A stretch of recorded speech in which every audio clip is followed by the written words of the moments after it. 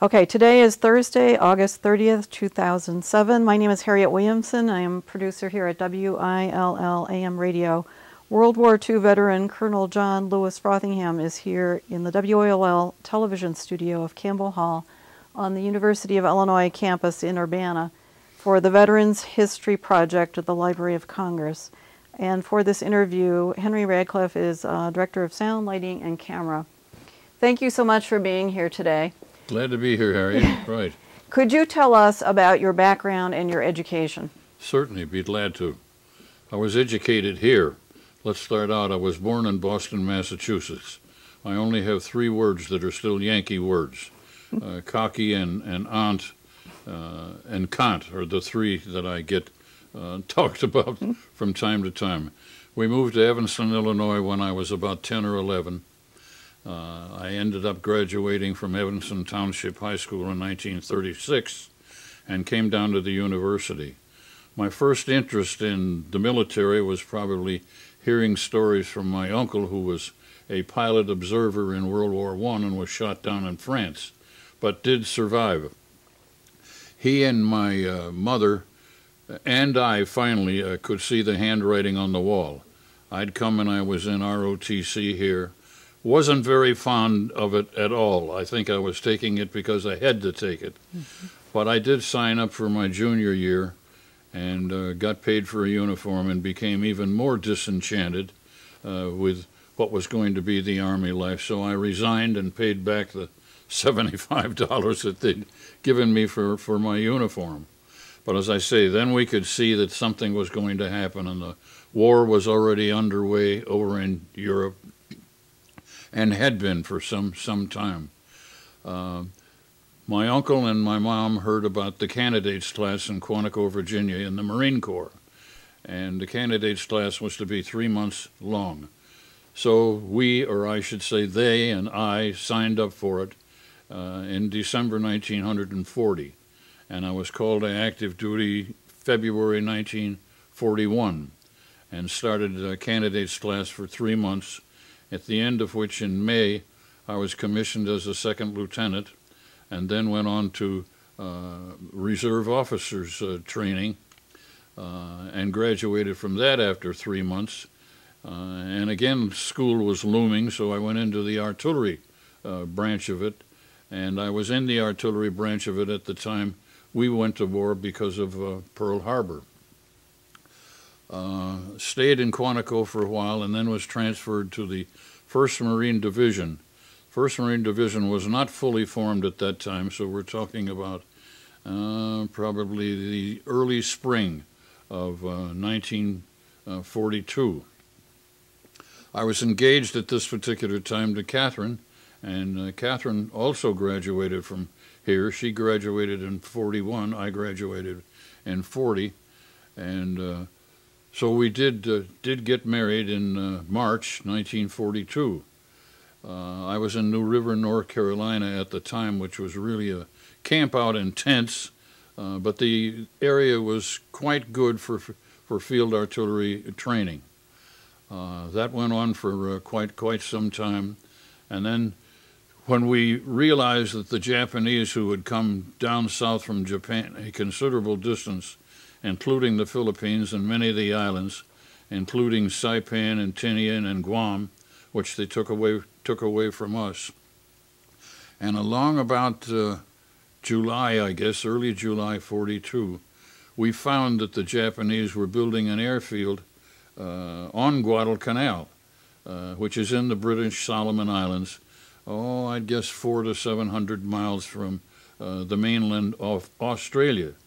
That, of course, threatened Australia uh, with possible invasion and so on. Now, the Japanese never did in, actually invade it, but they did bomb Darwin and made some skirmishes along the northern uh, coast of Australia itself. Uh, we uh, mustered up, had a horrible rehearsal in the Fiji Islands.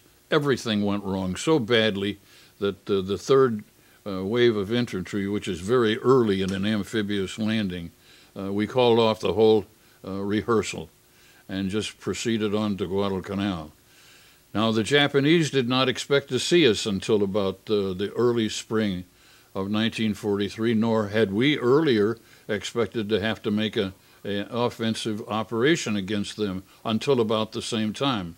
So it was really a surprise on, on, on both sides.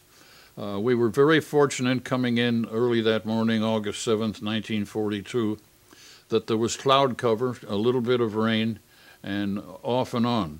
The Japanese totally did not expect us. They were still eating their breakfast when all of a sudden there was enough daylight that they could see this tremendous naval force uh, parked outside the, the island itself.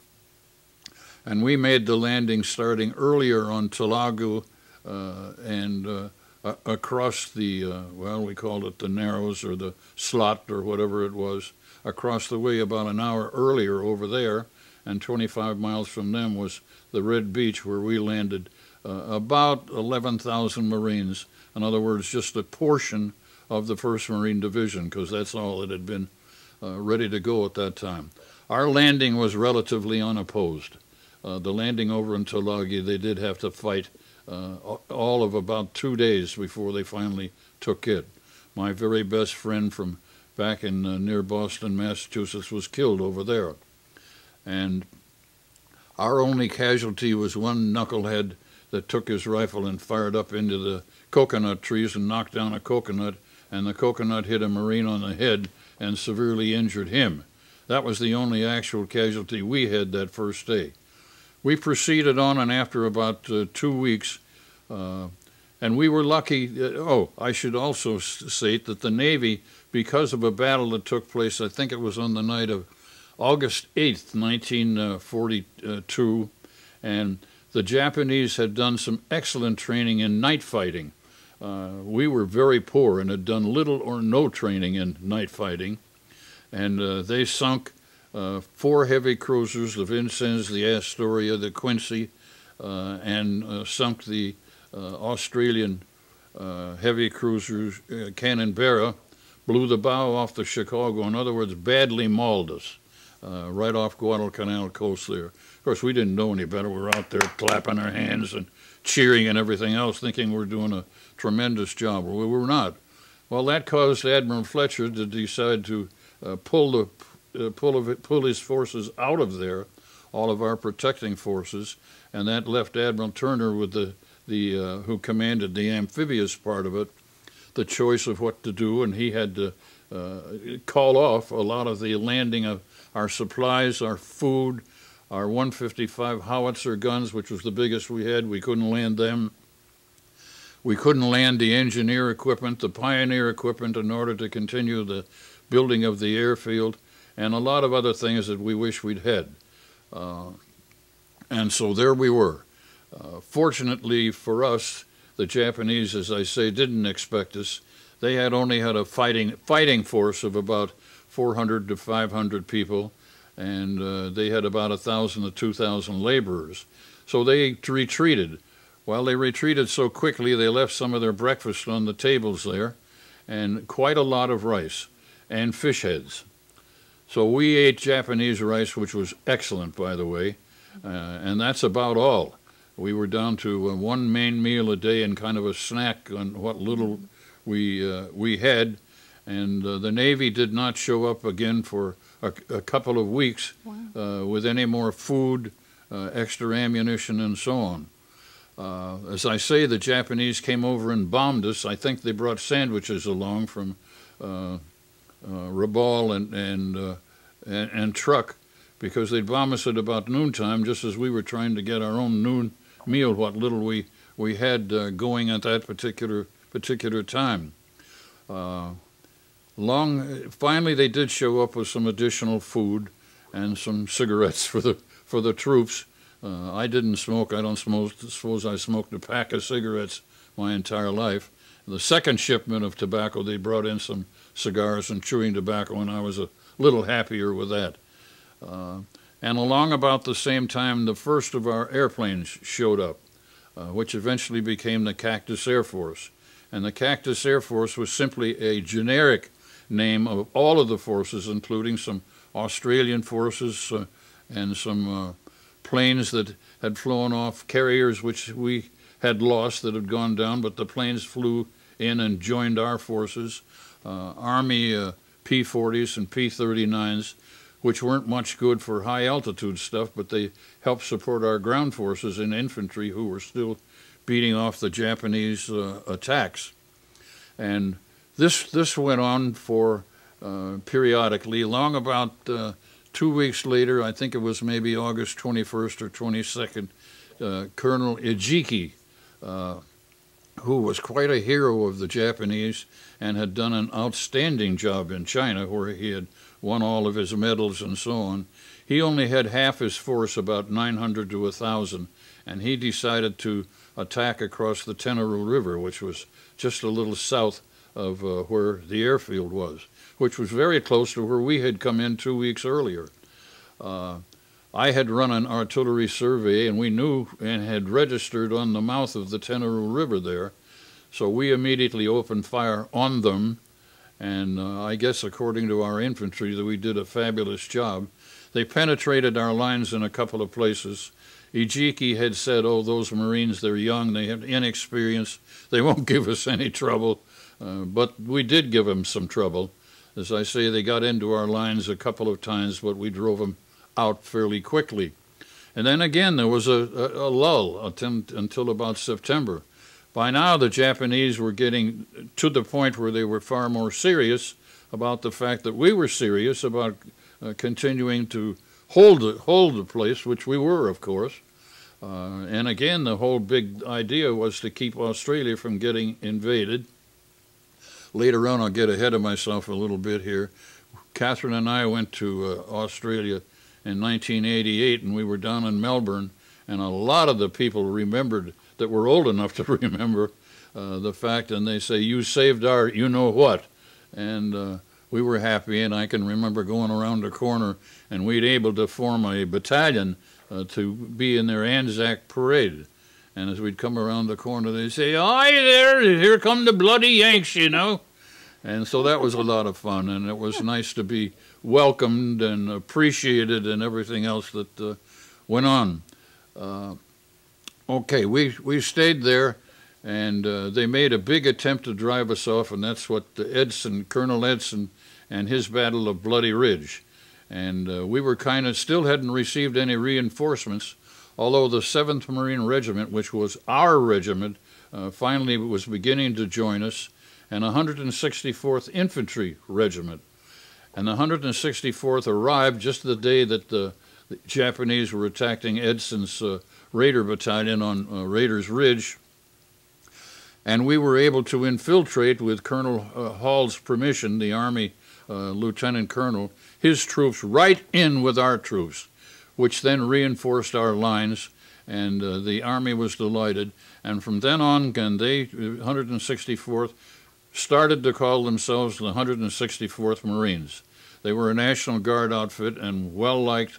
Uh, oh, I would say four, five, six years older than most of our Marines, and we enjoyed having them. Mm-hmm. Uh, then again, a lull until about uh, November, and some of the pictures that that you have. Uh, my outfit by this time had crossed the Matanikau River, and because we'd made an attack uh, against them again to defend our perimeter, uh, holding the airfield. And this particular time, uh, we heard that the Japanese were with a huge task force, and 11 troop transports was on its way down from Rabaul and uh, Truk. Now, by this time, also air reinforcements had come in, and our Cactus uh, uh Air Force uh, was much stronger. Although the Japanese were still attacking almost every day with bombers and so on, but we could get aloft up high enough and out of the clouds and so on. Now, the Japanese Zero, which was the fighter plane, was superior to our fighter planes uh, on a one on one basis. But when we coordinated our attacks and stayed up in the clouds and had the sun behind us and so on, and so we shot them down, about three of theirs down for every one that we lost. Fortunately, being fairly close to the island that we'd just flown from, uh, almost all of the pilots we were able to rescue, although we did, we did lose a, a, a fairly fairly large uh, number. I got a command at that particular time uh, on my battery across the Matanikau. The only time in my artillery history that I ever received the command fire at will, which means fire until we tell you to stop. That's the only time I ever ever had it. Well, what they were doing was telling me to get rid of, indirectly telling me to get rid of the ammunition that I had, and uh, then they were going to pull me out. Of course, they didn't tell me all this at the time. So we fired until the tubes became hot. You could spit on them on, on tube and it would sizzle. It was actually that hot. And they pulled us out. Well, on the way down, we sunk, let's see, it was uh, seven of their 11 uh, troop transports and the, the four remaining, seeing what had happened to their fellow seven, beached them up uh, north of us a little bit, and uh, so we were able to damage them severely and so on. That was about the last major effort uh, that that they were able to able to make. Uh, we stayed on. Well, let me tell you a quick story there mm-hmm. about the Cactus Air Force. Uh, General Geiger came in with his uh, major Cram, I think his name was, was his pilot. And General Geiger commanded the Cactus Air Force, which was everything that was there, whether it be Australian Army, Navy, or Marine. And uh, they landed, and he took over the uh, all of the air air people that were there. And uh, Cram went up to him and said, General, he said, can I borrow our plane? What for? He said, uh, well, he said, I've been talking to the Seabees and those beached uh, four uh, transports up there, are there, and they still got people that are unloading. And the Seabees uh, have worked it out. Seabees would be construction mm-hmm. battalions, mm-hmm. Navy, have worked it out so we can put a, a torpedo underneath each each wing, and uh, then run a rope into the into the cabin, and we can go up there and we can drop the torpedoes on them. And I, I think the general's comment, "The hell you say, yeah." and Cram said, "Yes, but we think it'll work." And so they took off and they uh, went up there, and darned if they didn't put one of the torpedoes in one of the uh, transports up there and blew that side of it to smithereens. And then instead of coming home, he turns around and comes back and puts the other torpedo in the other side of the of the transport. Well, by this time we're listening to the radio transmissions uh, back on on Guadalcanal itself. We were probably maybe five, ten miles away, and uh, I'm telling my troops now they're coming back in and for God's sake, don't shoot down our, our big, uh, the general's uh, private private airplane. And so they, the troops said, nodded their head and said, yeah, yeah, yeah. And so sure enough, here they come. Well, the big old PBY, balum, balum, balum, balum, comes in, and uh, it uh, starts to make its landing, and it's being pursued and shot at by a Japanese Zero. And right behind the Japanese Zero is one of our Grummans, and it's shooting at the Zero. And behind the the Grumman is another zero shooting at that that one. And so my troops are, obey my uh, wishes and don't shoot down uh, the big transport plane. Then they shoot down the zero, and then they shoot down our Grumman. And the Grumman pilot later said, "I wondered how I was going to land. I was damaged." he said, "But you, you guys took took care of that." Yeah. So we went on then, uh, continued to defend, and they continued to bomb us, but they never made any big major attack on us again mm-hmm. on Guadalcanal, and I think it's General Patch from the Army uh, came in. I think it was with his 25th Division in the Americal Division, and relieved us in the early weeks of uh, December 1942. Uh, and then we boarded ship and uh, set sail for uh, Australia uh, for rest and recuperation. By this time, 80% of us had malaria. Uh, I had malaria twice. This, and uh, I went to the division hospital the second time, the second day that I got there. When my uh, sergeant, uh, first sergeant came to visit me, I said, Get me out of here. This is a real drag. So they dragged me back and had to put a guard on my tent because uh, in my meanderings and so on and, and uh, temperature and all the rest, I'd start wandering. And he said, I'm going to put a guard on there because he says, You wander at night, and I don't want you to wander over to the Japanese lines which they did. But eventually, I think uh, I was a, almost the last of the original Marines on the island to get off the island. As I say, by this time, 80% of us had malaria, mm. and uh, the casualties there were not as great as we late, later suffered on Iwo Jima. Uh, I think we had 1,100 uh, killed and about double that number uh, wounded which isn't too bad because we'd later been reinforced with some additional Marines. I think we landed in, we were going to land in Brisbane, but lo and behold, they discovered a tremendous swamp just outside of Brisbane, full of anopheles, mosquitoes, mm-hmm. and, and so on. So uh, they decided they'd take us to the to Melbourne.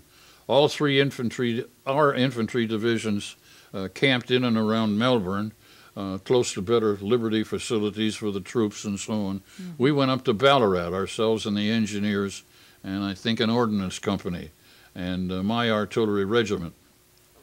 Uh, as I say, by this time I'd made captain. Uh, we were getting promoted so fast. I was only a first lieutenant, I think, for six weeks.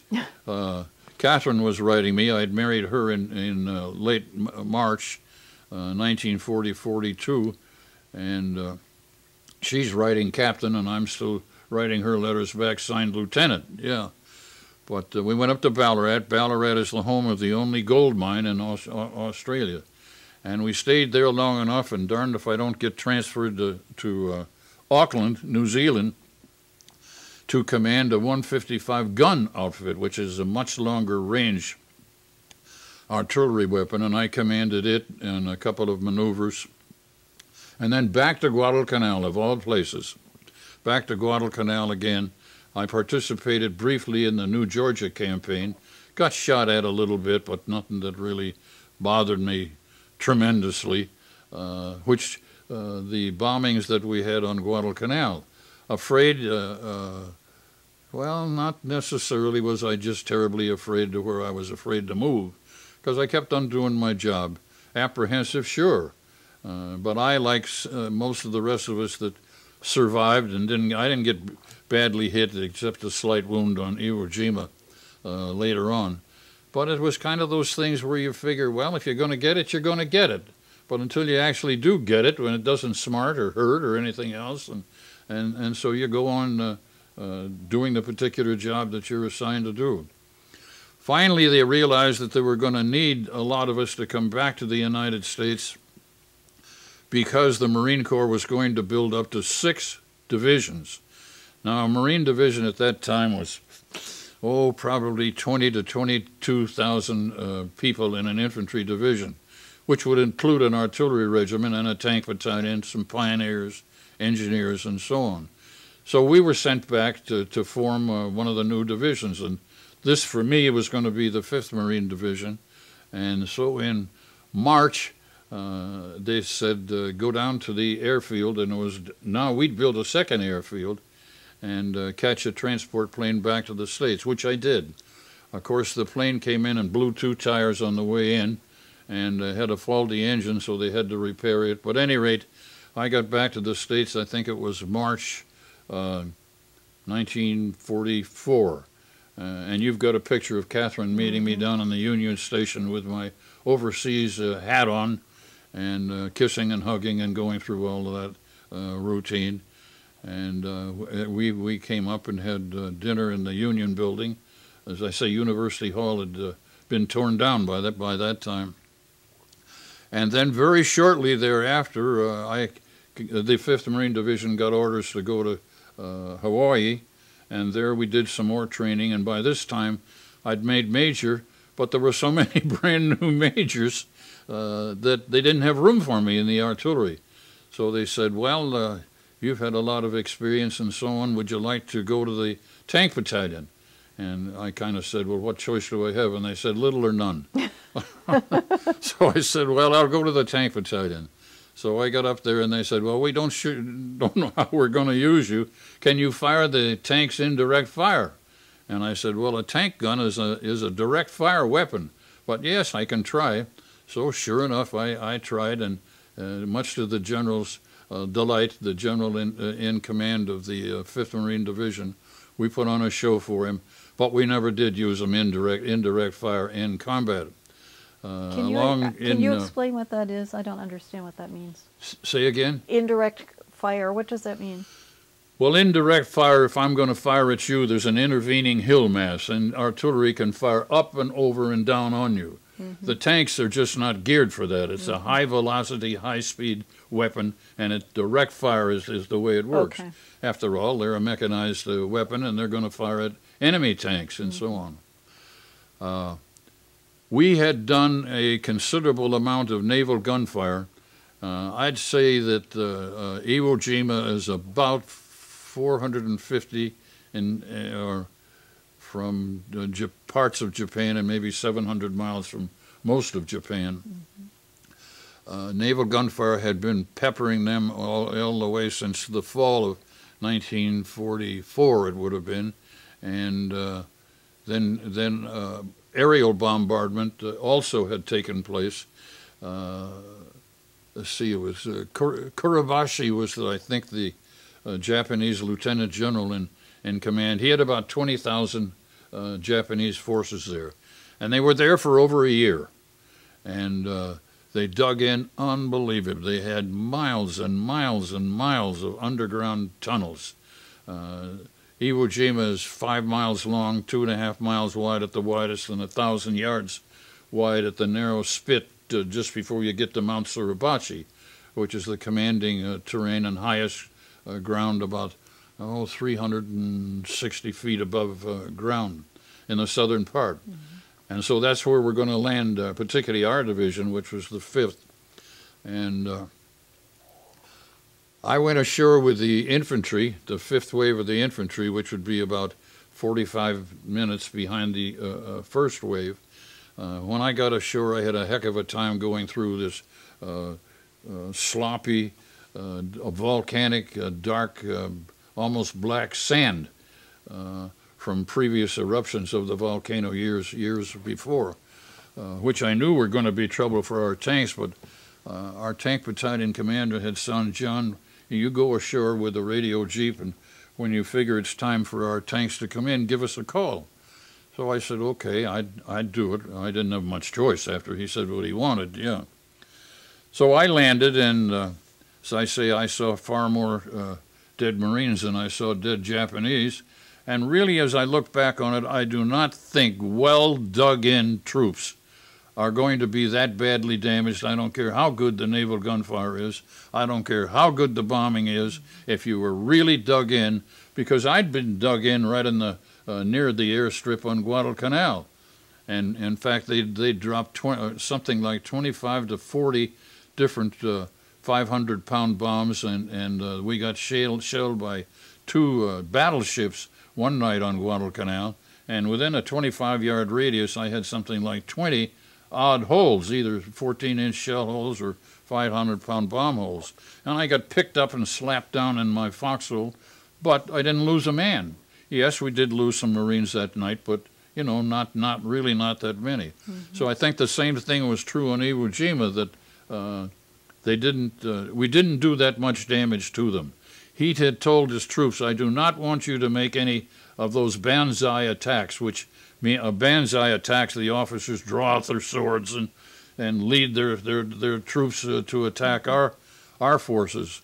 And they had been successful uh, uh, on on some occasions on doing this, but he says no. He says the the Americans have too much firepower, and only one dumb regimental commander, Japanese, was dumb enough to try it, and we slaughtered them when they when they did.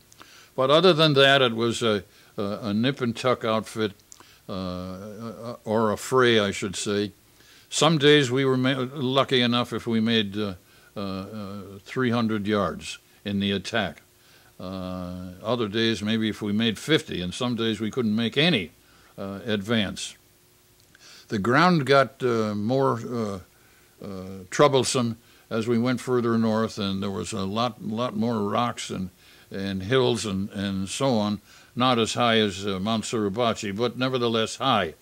And uh, the technique there, finally, that we developed with the infantry is that they would discover, well, they would get stopped. In other words, they'd get shot at and uh, take some casualties, and then they'd call for us, and we'd come up with our tanks and our, our fighting tanks, which would fire a high explosive shell, and we'd fire at shrubbery, anything that looked like it concealed a place where they were, or where the infantry pointed out they'd receive some fire. And so we did this, and then uh, we would back out the fighting tanks and run in the flame throwing tanks. Now, the Marine Corps doesn't have any flame throwing tanks anymore. They were con- considered uh, uh, a really an abusive type of weapon and cruel and, and so on. And I guess really they probably were. And so I think it was 1983, talking to some of my uh, remaining uh, uh, tank battalion friends, they uh, kind of outlawed it. And the last uh, flame throwing tanks we had was in about 1983. Hmm. And uh, they were good. It, they, they, it, the the flame napalm would squirt right out through the tube, which which had another tube inside of it squirting out the napalm, and they could fire about 100 yards and they can fire for three minutes. Mm. And uh, this we would blast everything that looked like it was a potential hole or cave or whatever it was. and it was uh, effective and bottled up uh, some that were inside and burned up some others that were inside. Then we would back the flamethrower tanks out and run in the fighting tanks and uh, shoot up whatever we could see with the infantry. And finally, we would take the ground. As I say, sometimes we only made 50 yards. Uh, other times we made three or 400. That was really great. This kept going on. Uh, the casualties that we took were unbelievable. Unbelievable. It was the only battle that the United States, including the Army and so on, that, uh, that we were in during the entire World War II, uh, where our casualties exceeded those of the enemy. Mm. Uh, Kuribayashi lost, I think, yeah, of his 20,000, he did lose. Of course, his were killed, all but about two or three hundred that we that we captured, uh, wounded and otherwise. But we lost 28,000 casualties in that same battle. I can remember we buried 8,000 of our Marines right there, mm. and more died out on the hospital ships that we were able to evacu- evacuate them uh, to. Uh, Along about the March, we were up in the far corner, and that was all that was left from the Japanese position. Turned out it was the headquarters of Kuribayashi. Kuribayashi committed suicide, or, or uh, uh, himself, and then they made a last counterattack and, and killed some of our army that had begun to come in uh, to relieve us as we were unloading to get out mm. of, the, of the place. Uh, so we threw our uh, extra equipment that we'd put on the top of a couple of our tanks and uh, th- threw it off to the side and, and finally wiped out the last of that 200 that had, that had charged us. The colonel and I are on board an LSD, which is a landing ship dock, and that will take in the rear end. They bring in LCMs and L, uh, L, yeah, LCSs and so on into the rear of this LSD, which is full of water unload them, pump the water up a little bit more, pull the, the smaller ship back out, and go get some more tanks. We had to leave about, I'd say, maybe 10 of our tanks badly damaged right there on the island and started unloading. We're back up on the bridge, and I'm with the colonel up there, and he says, My God, what is that? And I said, That's a Japanese light tank. He said, What are we going to do with it? I said, The men want to get it fixed when we get back to Hawaii and see if they can make it run. He said, You're kidding me. I said, No, sir, I'm not. So that was all right. He just grunted and so on. so then later on, here comes something else. And he says, Oh, my goodness, what's that? I said, Sir, that's, that's a Japanese motorcycle. And I said, That's for you. and he says, Does it run? And I said, No, not now, but, the, but our men think that they can fix it too. So lo and behold, we got, uh, got back to uh, Hawaii and no one, uh, well, I was delighted because there was a message from Catherine saying Kathleen, our first child, had been born on April 4th, mm-hmm. uh, 1945. And uh, very quickly we had the Japanese uh, light tank running, and uh, the troops were running it back and forth. And the colonel had his motorcycle, and he was delighted because he had his own transportation around the place and so on. Now, that's an overall description of my combat uh, experiences. Yes, there were some other things that were e- exciting and so on. Now, I've taken up all the time and, and probably uh, I've answered some of your questions, but maybe not all of them. Well, would you like to talk about your original training when you were at Quantico? Yes. I, um, and how was it? Because you said you had been disenchanted with the military, but yet you ended up going to officer training and and continued in the military? Well, I didn't feel at the time that I got back out of the ROTC, I didn't feel that I that I enjoyed it. I wasn't enjoying it. Part of it was the fact that I had a real SOB uh, as my commanding officer, who was making it, I thought, as difficult as he as he could make it. I wasn't a whiz bang at mathematics and so on. Believe it or not, I was in artillery, and later on, I became a heck of a lot better at doing the same thing. But I just couldn't see the future in it for me, and uh, so I got out. And then, as I said, I, I was smart enough and a major in history, and I could see what was happening overseas. And I thought, this is really stupid. Now, do you want to be an enlisted uh, man, or do you want to? Uh, and when my uncle and my mom heard about the candidates class, then's when I when I grabbed it. Uh, Quantico at that particular time. Well, we still had the 03 rifle, for example. Now, what is that? What is Uh, that? Well, it, it fires a 30 caliber bullet, and it was uh, it, it was an individual weapon uh, carried by by the infantry.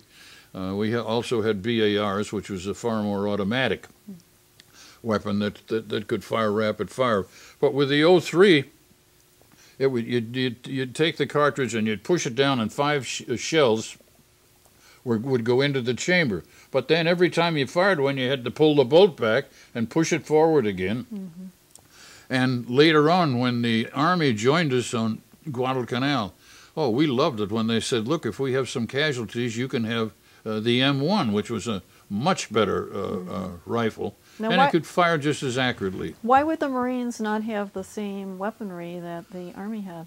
Well, in many cases, uh, Army ordnance and someone would develop it, and I think uh, very rightfully they would give it to the Army to try out 1st And uh, the 164th, uh, which I talked about, called them 164th Marines, showed up. They had them, and uh, but they were very gracious and would let us have some of them, and we tried them out and, and uh, so on. The infantry, the training that I had in, in uh, Quantico was all infantry type training, all of it, and how to employ your men and your squads and maneuver them, and uh, and so on, and how to march through uh, uh, rough terrain with a 50 pound pack on your back and so on.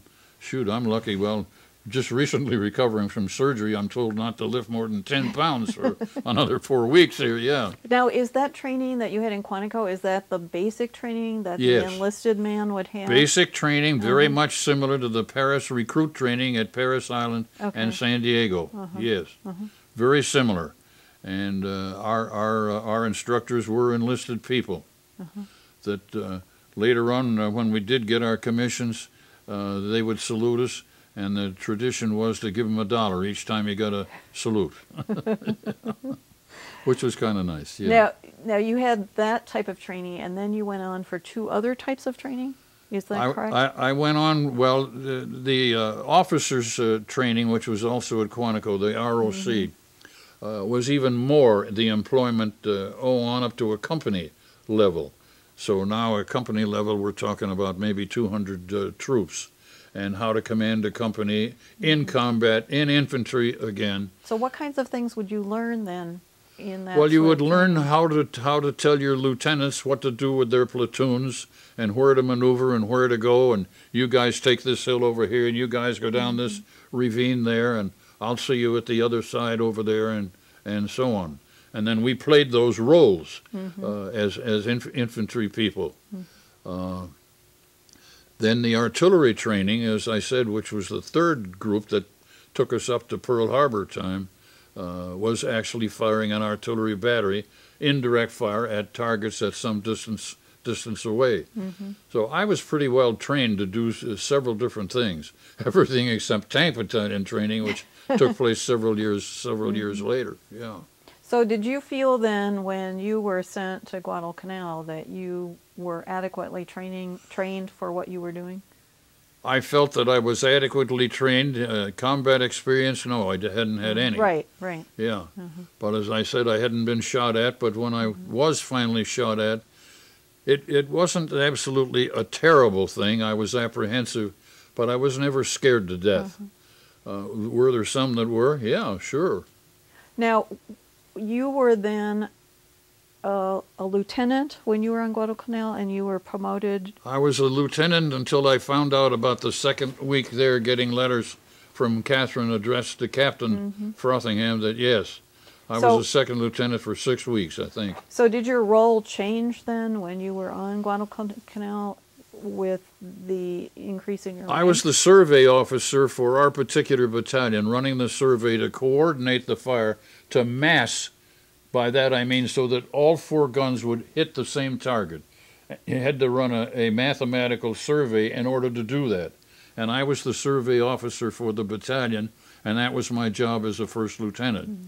Very quickly, when I made captain, they made me executive officer of one of the firing batteries, meaning I was in charge of the four guns, or howitzers, I should say. Uh, then I did that for three or four months, and then I became commanding officer of that same battery. And I was commanding officer of the battery when we left in, uh, what, the 5th of, uh, just after Eleanor Roosevelt, just before Eleanor Roosevelt called to make her visit to the uh, division on Guadalcanal. Five days ahead of then, we left the island. Oh my goodness, Eleanor Roosevelt visited Guadalcanal?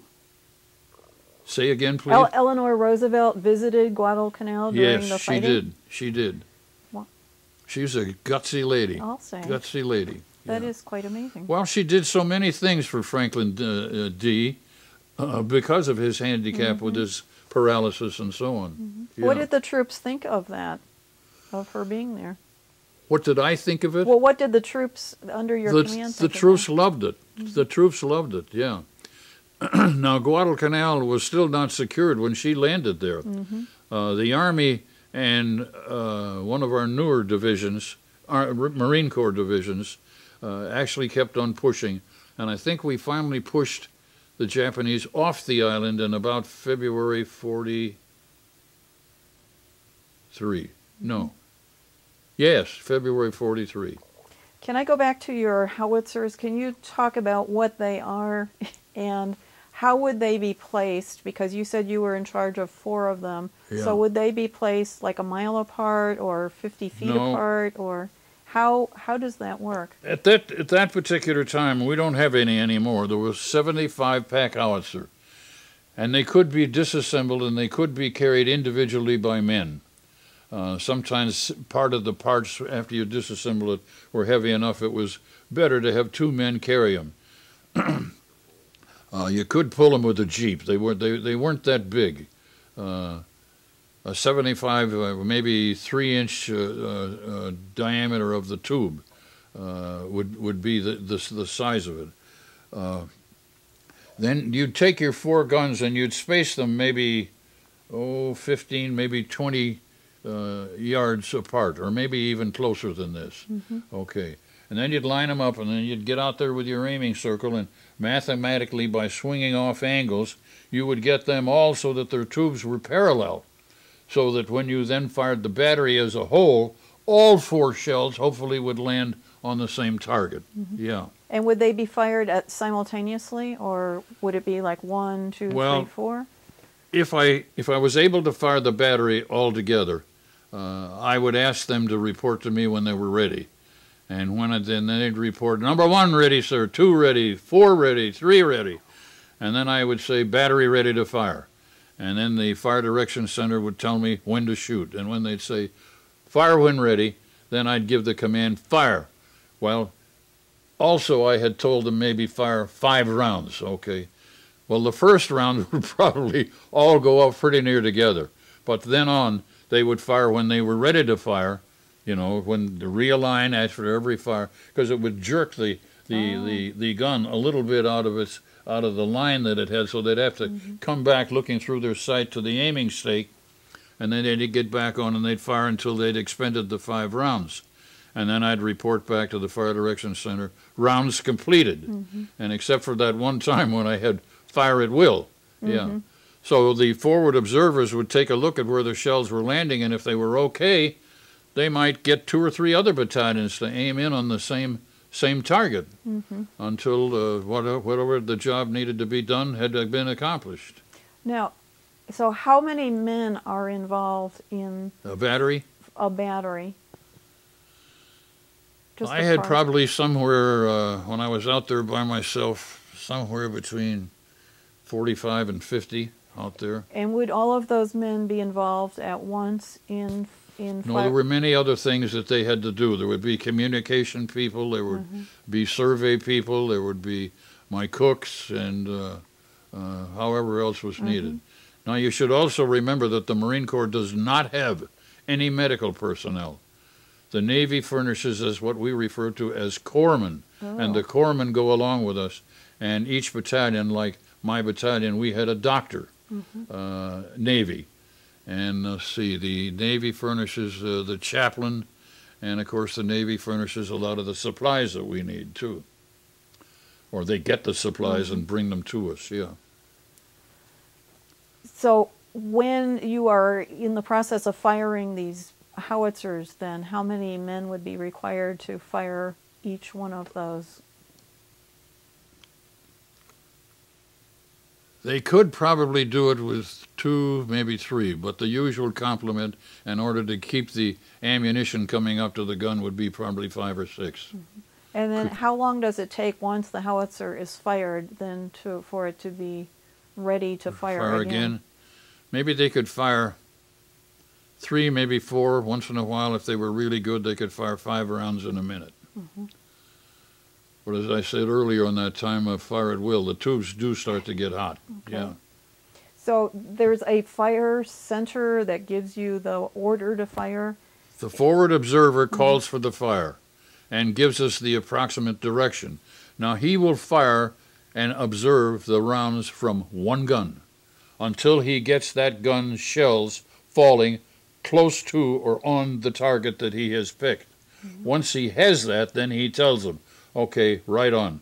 Then you can bring all four guns or the 12 guns from your battalion or guns from your battalion and other battalions as well. Mm-hmm. Yeah. So then surrounding you, would there be other battalions that are doing the yes. same thing? on Guadal on Guadalcanal, let's see, we had one, two, three, four battalions. Four battalions. I said they never did land our 155 howitzers, but we had a 105 howitzer group, which was a little heavier than our 75 with us at the time. Yes. And were, were those weapons very effective? Yes, yes.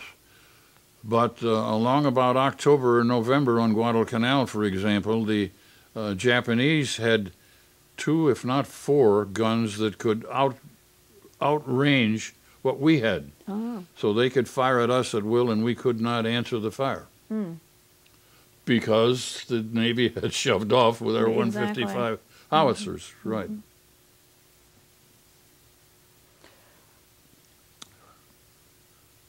Then, so Guadalcanal then, once it was taken, and it, did it remain then in American hands, or did you- Yes, it, or- beca- it became a forward supply depot. Mm-hmm. And so as we went on up uh, to the Marshalls and Tarawa and Saipan and let's see, Guam and Tinian and took them, um, and m- many of the supplies and food and so on would come that had been shipped from the States to Guadalcanal and Guadalcanal forward to these other places that we had taken. Yes. How did how did the terrain of Guadalcanal compare to that of Iwo Jima? totally different. Guadalcanal was almost strictly jungle. Most of the fighting that we did defending that airfield was in a coconut uh, grove uh, that was uh, palm trees and so on right along the coast. And it was fairly flat and some uh, kind of grassy areas and, and uh, very suitable for uh, digging in and artillery placement and so on. Guadalcanal, except for a couple of level places where the Japanese had already built Airfield One and had uh, almost finished Airfield Number Two, was flat, relatively flat only in those places. But once you got a little further north, it was very rugged, nasty terrain. Nasty as far as attacking the enemy is concerned. The enemy had so many places to dig in and hide behind rocks and boulders and and uh, dug in caves and so on. How am I doing? You're doing great. okay. tell me tell me when you're ready to uh, take a break or to All right. stop. Anytime that you're ready. Okay. Um, I understand that you saw the raising of the American flag on Mount S- Suribachi. Anyone that said that they saw the raising of the American flag on Iwo Jima, and there were two flags, I'll tell you about them in a minute. I don't say that they're liars, but I say that they saw the flag, but I doubt seriously if they saw the actual raising. The actual raising took place in a matter of seconds. Let's see, General uh, Colonel Chambers, who commanded one of the battalions of the thr of the uh, 28th Marine Regiment that assaulted Mount Suribachi, brought a small American flag with him in his pack, and that's the one that they took up there. And that first one went up, oh, about uh, maybe mid morning, maybe late mid morning, and uh, boy, when the all the ships and the whole fleet out there and so on saw it, and so when they started to toot their horns, and we looked around. I was, of course, had been ashore for five days then, and sure enough, there was a little tiny flag uh, flying, and I must admit it was emotional as far as I was concerned. Uh, kind of tears came to my eyes and so on. Now, my Marines, on the other hand, uh, their comments as they turned around was, "Oh ye gods, there's our GD flag flying," and so on. Uh, they're not known for being the most articulate in the world about expressing themselves. Uh, colorful, but uh, not articulate. So Chambers, when he saw this and heard all of the horn tooting from the ships, said, That's not big enough. So he sent a sergeant down to the beach to get a bigger flag. Sergeant gets down there to an LST. LST is a landing ship dock, lands, lands heavy trucks and can land tanks as well. So he goes up to this one, the sergeant does, and the skipper is positively delighted. He says, uh, You mean if we give you one of our large flags, you'll fly it from the top of the mountain? Yeah, we'll replace the little one that's up there. You're kidding me. Oh, I'd be delighted, he said. So he gave us gave the sergeant one. Rosenthal, who took the famous picture, is there, right there on the beach. And he heard what's going on. And he says, Sergeant, what are you going to do? He says, I'm going to take this larger flag up to the top of the mountain. We're going to fly it up there. And Rosenthal says, Can I go along with you?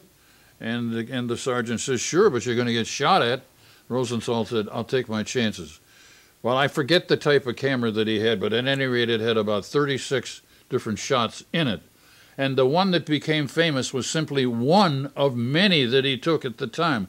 But he caught it just right. The flag is going up, all of them five men are straining to, to raise it even further. They'd found a big long metal pole somehow, and they rigged it to, to, to hold the flag, and they got it up. And again, lots more cheering and more tooting of horns and so on. And again, I turned around and I saw it up. But I still contend the person who says that they saw it going up is probably not right. Mm-hmm. They saw it up, but not going up. Mm-hmm. Right. Mm-hmm. Yes, I was. I was there. Were do you feel that you were well supplied when you were on Iwo Jima? Well, what? Supplied in terms of your. Oh yes, the supplies were mm-hmm. were, were good by that that point. Rather interestingly, Iwo Jima is it was is still a semi-active volcano, and, so, and some of it's working underneath. And the infantry were able to put down their canned rations, dig a hole and put it down in there, and heat it, hmm. and and then eat heated rations uh, out of the can. Is that true all around the island? Or was it just in a few places? Uh, some of the other islands that we occupied were volcanic in nature, but that one was mm-hmm. an active. Uh, well, I can't say that it was an active volcano, but it was still smoldering underneath because that's where the heat was coming mm. from, right? Now, you were an officer during the entire war, so that makes you maybe have a different view of the war than than the enlisted man, do you think? A good, good, good point, Harriet. I hear stories about people who don't want to talk about their combat experiences. And when I am asked, why are you so free at talking about your experiences? I was not in the front line infantry. I was not in direct, immediate contact with the enemy, swinging my sword or whipping out my pistol and so on.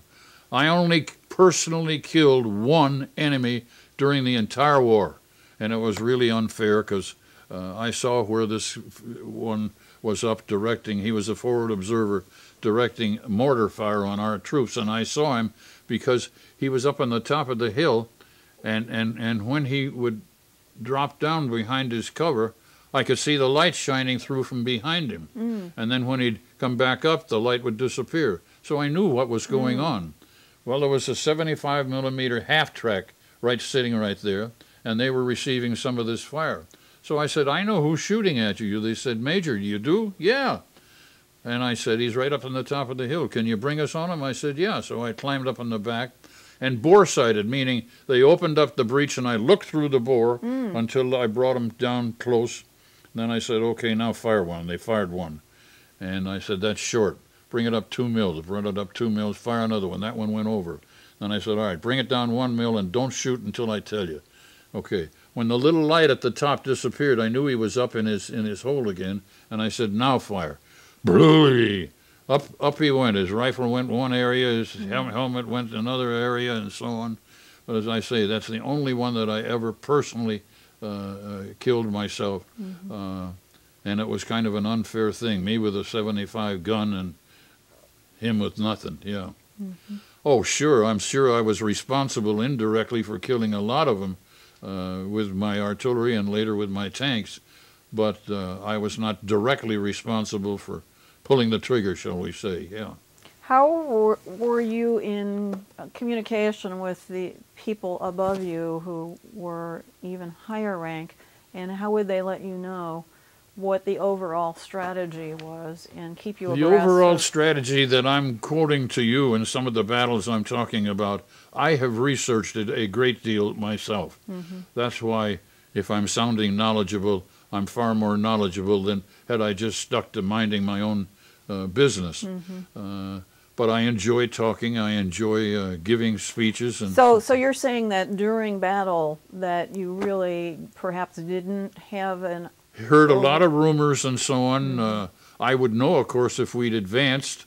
And uh, within a day or two after I was given that one command, fire at will, and then they pulled me out of there, then I found out within a day or two why they'd pulled us out, because they were afraid the Japanese were going to mount a big attack and wipe me out if I, if they hadn't pulled me out. Yeah.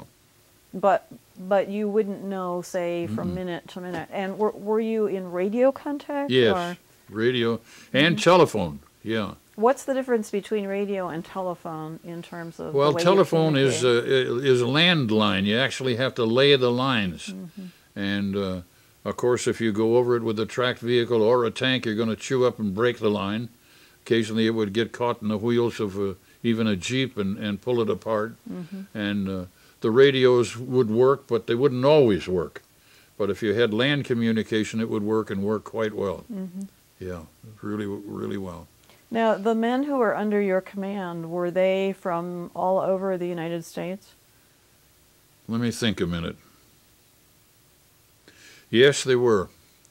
Very few, very few Marines from uh, Illinois. Yeah. And I think only, I only know of one other senior officer from Illinois, uh, and he's gone. Yeah. As are most of the people that I served with. Yeah.